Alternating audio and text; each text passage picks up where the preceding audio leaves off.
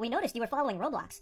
Well, why don't you follow this guy? His name's Jeffrey. On TikTok, you can convince anyone to do anything. And you don't even have to really try that hard. Uh, uncultured swine. You see, it's not actually a real child. This is a victimless crime. This may look like a four-year-old girl, but you don't understand the lore. She's actually coming from a sophisticated line of goblin ogres, and she is over 400 years old. So it's completely legal, and you're weird for thinking that it's weird. So they said mix bleach and ammonia on top of the trash bin, and it should gas it out.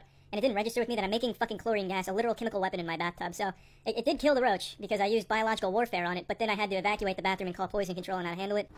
Hey Charlie. Hey Charlie. Hey Charlie. Hey Charlie. Hey Big Moist. Hey Charlie. Hey Huge Charles. Hey Charlie. Andrew Gooden's here. What's up? He's like over there. No, so you know, I'm a pretty fucking tough guy. I could suck on some t- standing up, eat a bowl of nails, not cry.